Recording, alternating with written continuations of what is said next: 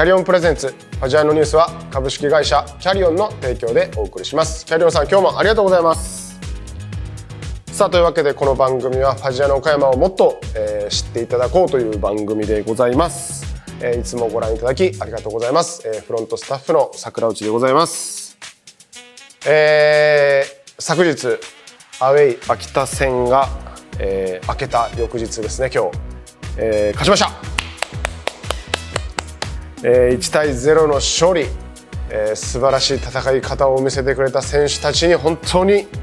拍手を送りたいと思いますし、えー、遠い遠いアウェイの地秋田に平日にもかかわらずあれだけの方が行っていただいて本当にありがとうございました。そして DAZN で、えー、応援していただいた方ありがとうございました。いや肉弾戦でね、はい、結構もうバチバチやったね。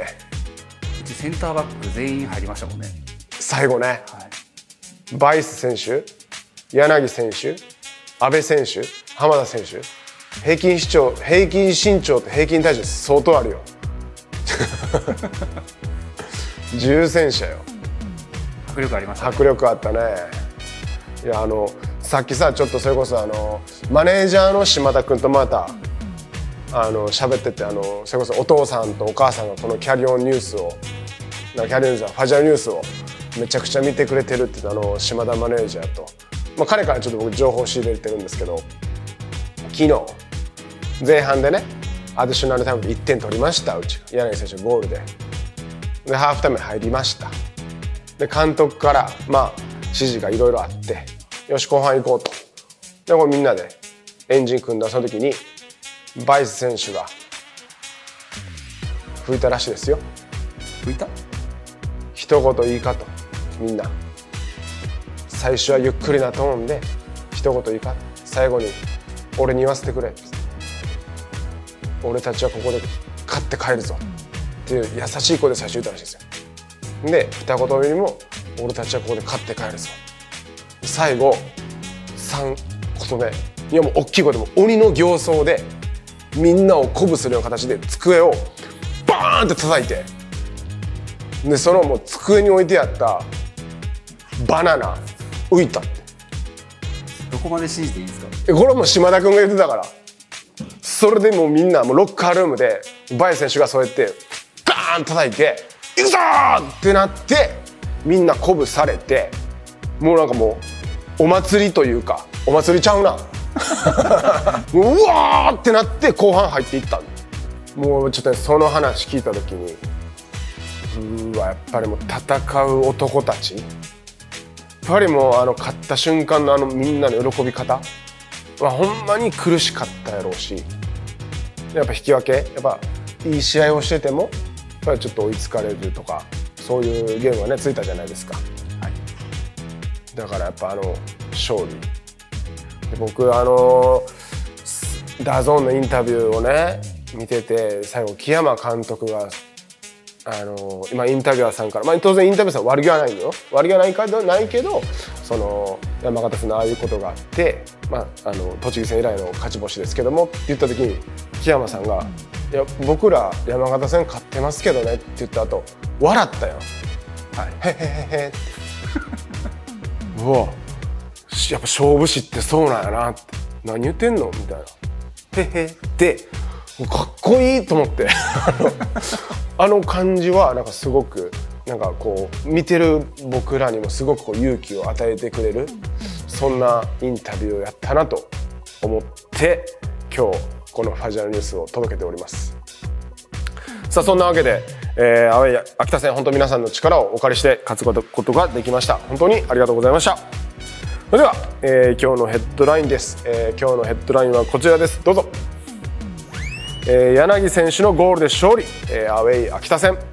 えー、2021年度、えー、ファジアの岡山の決算が確定しましたので皆様にもご報告申し上げます、えー、そしてファジビール。ファジレモンサワー。ファジジンジャーエールがなんと、えー、ふるさと納税の返礼品に認定されておりますのでそちらのご報告でございます。そして最後は、えー、もうゴールデンウィークはもう今日の配信からは今日の配信とかねあの4月29からもうゴールデンウィークに入っている方もたくさんいらっしゃると思いますけども、えーゴールデンウィークはシースタへということでホームゲームの情報をお届けしていきたいと思います。それでは、えー早速ではございますが先ほども、えー冒頭に申し上げました、えー4月27日水曜日に行われました平日アウェイゲームとなった北戦の振り返りです、前半終了間際に決めた柳選手の移籍後初ゴールを全員で守りきり勝利をつかみ取りました。まずは柳選手のインタビューをご覧いただければと思います。こちらをご覧ください。どうぞ。まああのまず前半の終わり際の、えーまあ、時間帯に、えーまあ、得点できたところ、がえーまあ、チームとしても非常にいい時間帯に点を取れたと思いますし、まあ、あの得点に関しては、まあ、得からまず、えーいいボールが入ったのとバイスが、えーもうボールが上がってる瞬間に僕をすごい見てくれてるなっていうのは感じたので絶対僕のところにボール来るなと思ったのであとはあの合わせるだけでした。えーまあ、本当にバイスも、えー僕のことをずっと気にかけてくれてて、えーすごい自分もハッピーだよっていうのを昨日あの言ってくれたので僕としてもしあの非常に嬉しかったですね。まあ、あのホームの連戦が続きますけどここで連勝することで、えー J1 昇格に、えー近づける大事なステップになると思うのでまたあの僕たちも全力で戦うのでぜひ熱い応援をよろしくお願いします。ありがとうございました。まあ、やっぱりあのファジアに入ってからの初ゴールですから喜びもひとしおというかどうですか？あのインタビューされてきて。やっぱりあのーずっと点を取れてなくてみたいなことを、うん。まあ、あの試合後のインタビューでも言ってましたけど、うん。まるでフォワードのようなコメントが ありましたもんね。そうね。どちらかというとあの、ね、ディフェンダーの選手からまあ失点してしまったとかそういうところにこう反省しがちなところはあるんですけども彼はもう入団当初からいや今年も2桁取りますからと。いやフォワードやんってまあ去年8点取ってますもんね。あペース的にはもしかしたら去年よりはちょっとーうん。良くないかもしれない。ですけど、うんうんうん。まあ、ここから、まあそうね。はい、あの乗っていってもらえると思いますし。まあやっぱりホームゲームホームゲームホームゲームでもねやっぱ点取っていただければすごくまあ攻守、まあ、両面にあの乗っていけるような気もしますしね。あのぜひここから、えー期待したいと思いますので皆さんもぜひよろしくお願いします。さあ続きまして、えーファジアの岡山、えー2021年度の決算でございます。まあ、これはどちらかとも我々フロントサイドのですね本当にもう通信簿のようなものです。えークラブの決算が確定しまして営業収入いわゆる、えー売上ですね売上収入は、えー15億7100万円になりました。えーそして営業費用支出ですね、えー使ったお金、えー15億5700万円となっております当期純利益は、えー1800万円の、えー黒字となっております、えー詳しくは、えークラブのホームページにも掲載しておりますが、えーこれはですねあの岡山市、えー体育施設の指定管理事業費のえー金額も入っているためあのーまあ、どちらかというとクラブ本業の儲けといいますか収入、まあ、例えば広告料収入とかあの入場料収入そしてえーグッズ収入そういったえー収入とは違うものが、まあ、指定管理費用として乗ってきている部分もありますので我々フロントサイドとすればクラブ本来の中心となる、営業費収入ですねそれをやっぱりいかに伸ばしていくかがあの今後も事業のあの肝になってきますので、えーホームページにも書かさせていただきましたが、えーなるべく、えーファジアナ岡山のスポンサー様の、えー商品を、えーご利用いただいたりだとかもし、えー皆様お仕事とかで、えー協力会社様、えー探されてたりするのであればですね一言ファジアナ岡山のスポンサーしてますよねとかっていうそういう一言があればですねこの話題広がると思いますんで。ぜひ皆さんよろしくお願いします。あの詳しくはホームページに載っておりますのでぜひこちらをご覧いただければと思います。よろしくお願いします。こちらも、えー先日発表いたしました、えーファジビール、えーファジレモンサワー。そしてですねファジジンジャーエールが、えー岡山県と岡山市の、えーふるさと納税の返礼品に、えー採用されております、えーこちらあのぜひ皆様ですね周りの方、えーまあ、特にですね県外に住んでらっしゃる方々に対してですね、えーご利用をいただければというふうに思っておりますのでぜひ皆さんこちらのご利用もよろしくお願いいたします。さあというわけで、えーゴールデンウィークのホームゲームの情報です、えー2022年も、えーゴールデンウィークに突入しているわけですが、えーホームゲームが、え2試合ございます、えーなんと5月1日と5月4日、えー連戦でホームを迎えることができると、えー5月1日、えー東京ベルディ戦は、えー来場者先着8000名様にオリジナル応援ハリセンをプレゼントさせていただきます、えーこちらのビジュアルですね。えーチアゴ選手、徳本選手、柳選手、デューク選手、バイス選手。これは捨てれないですよ。かっこよく仕上がってますんで。で、まあ、今回あのスポンサー様もあの入っていただいてあのご協賛いただきましてありがとうございます。そして、えー続いて5月4日水戸戦ではもうこれは欲しいですね。ペナルティー製品、まあ、ペナルティーデーということでもあるんで、えー先着1000名の方に小学生以下1000名の方にこのペナルティー帽子をとファジアンのコラボ帽子をプレゼントさせていただきますんで少年少女たちはこの帽子をもらいにホームゲーム5月4日来てくれたらありがたいなと思ってますんでぜひホームゲームにお集まりください。またこの試合では、えーまあ、2試合ですね。2試合では事前にご応募いただきました、えー子どもたちが書いた監督選手の似顔絵を使用した、えー特別バージョンの選手紹介映像を放送いたします。えー普段はですね当日メンバー入りした18名と監督の紹介ですが今回はベンチ入り以外の全選手の紹介動画も放送されますのでぜひこちらもお楽しみいただければと思います、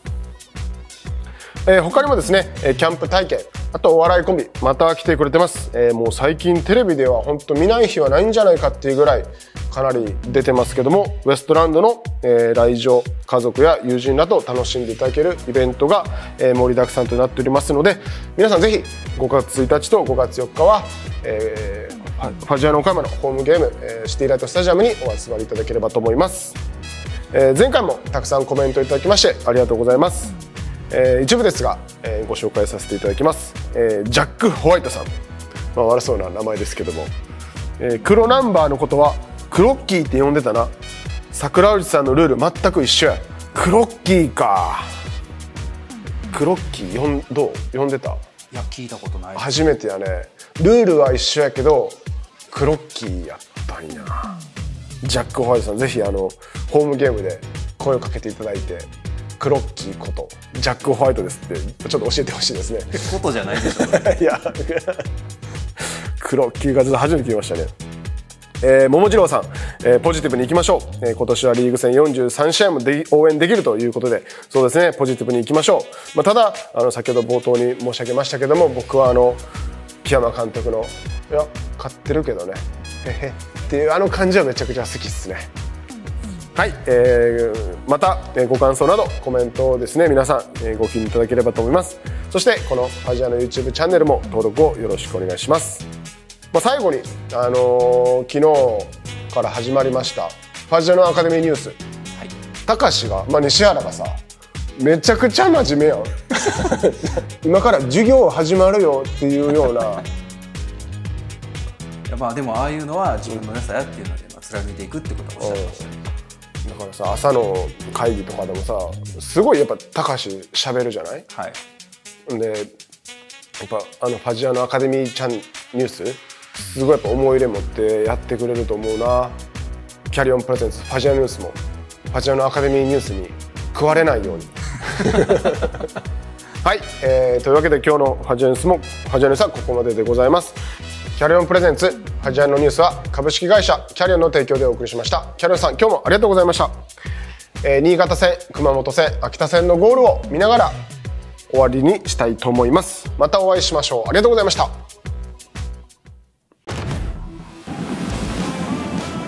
旦パイセンをします。狙ったボール残ってシュートは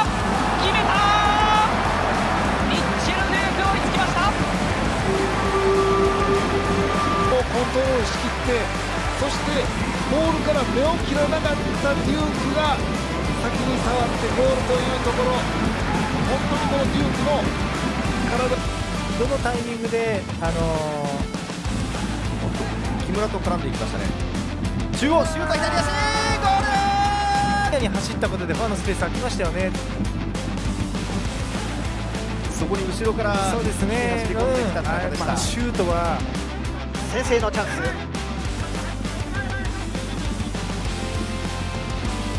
ファーサイド。